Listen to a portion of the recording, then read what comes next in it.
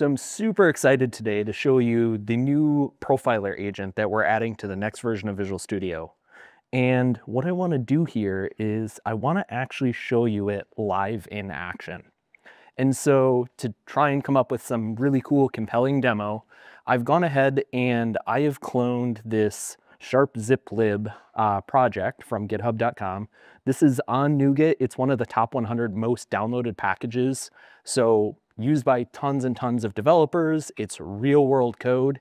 And I wanna show you how the new profiler agent can help you optimize that just like it would optimize your code and help you make those delightful experiences for your customers. So like I said, I've gone ahead and I've downloaded the project. I brought it up in Visual Studio. And in the new Copilot chat, I can talk to our new profiler agent, knows all about performance optimization, and I can say, hey, profiler, run the Adler 32 large update benchmark and optimize the code that it calls. And immediately you see the profiler agent starts by putting together kind of its plan of attack for what it's going to do. So it says, I'm gonna begin by running the benchmark to establish a performance baseline. Those of you that have done performance investigations before, you know you always wanna start out by measuring. So you understand where your code is at, you make your changes, you measure again, so you can see the delta. Then it's gonna analyze the results to identify optimizations.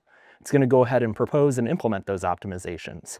And it's already taken off on the first step of this benchmark. And so you can see it's actually running that benchmark in the background and it's capturing all of that data using the profiler.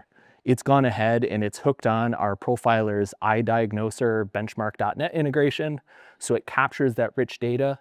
And then once the benchmark is done running, it'll save a resulting diag session and then it can dig into that. And so like some of the agent stuff that Rhea was showing, the profiler agent knows how to really work with all of the tools that are available in Visual Studio and really help you kind of accomplish the tasks that you need. And so because it's a live demo, it's a little unpredictable. Hopefully this benchmark will stabilize soon. Um, but it looks like it's running 180 hmm, to 200 milliseconds um, per iteration of the benchmark. So we'll just give it a minute or two. And now it's finishing up. You can see the whole spew of information at the end. Uh, and right now it's saving the resulting diag session, automatically opens up in Visual Studio. And much like I would begin a performance investigation using the UI, Copilot's gonna start immediately going in there and pulling that information from that diag session and then start giving me some suggestions.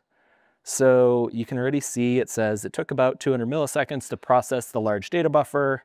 It shows nearly all the time is spent in the update method.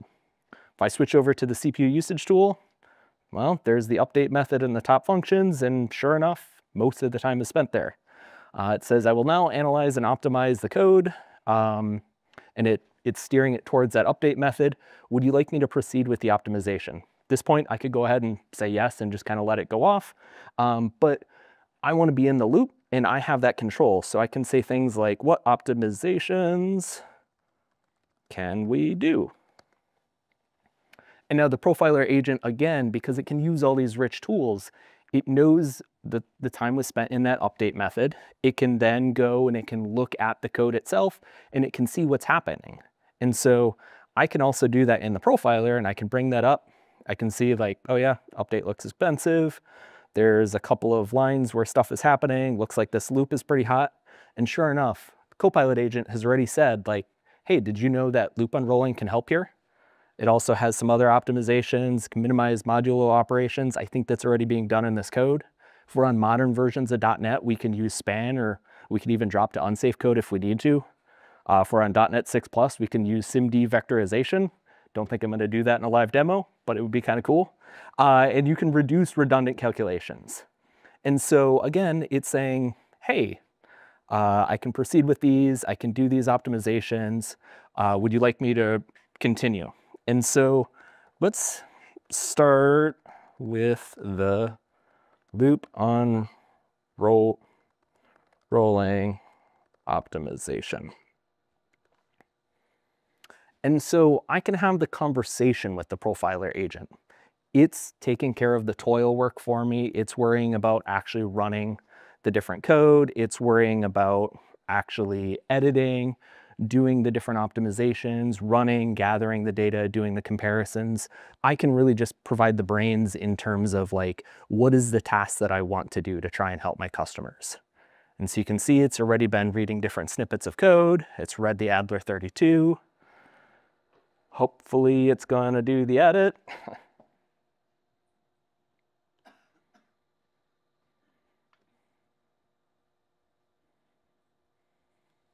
Gotta love up live updates or live demos with an LLM.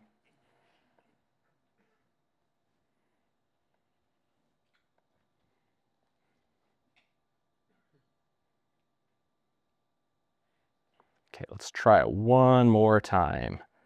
Let's start with the loop unrolling optimization.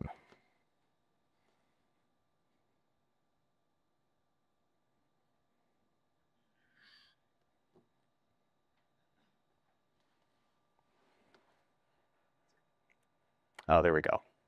So it says it's starting uh, with the main loop optimization to optimize loop unrolling. We can process multiple bytes per iteration, four or eight.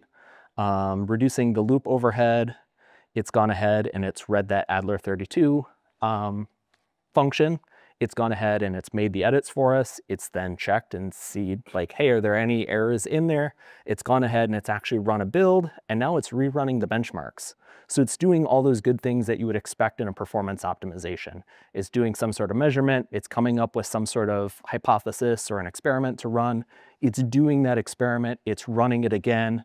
And then it's going to actually validate that like, hey, the changes that we're making, these are actually impactful and this is what we should do. And you can see it's gone ahead, it's captured that trace again. And this time the mean is 168. So it, the loop rolling optimization reduced the mean execution time from 200 milliseconds to 168. It just improved the performance of this code by 17%. Uh, and it took care of all the toil work for us. And again, I can continue to do more and more investigations um, and I can do more experiments, but with this, Copilot can really just do all that toil work for me and I can again focus in on the things that are interesting to me and I can be the one that's running the experiment. So with that, thank you.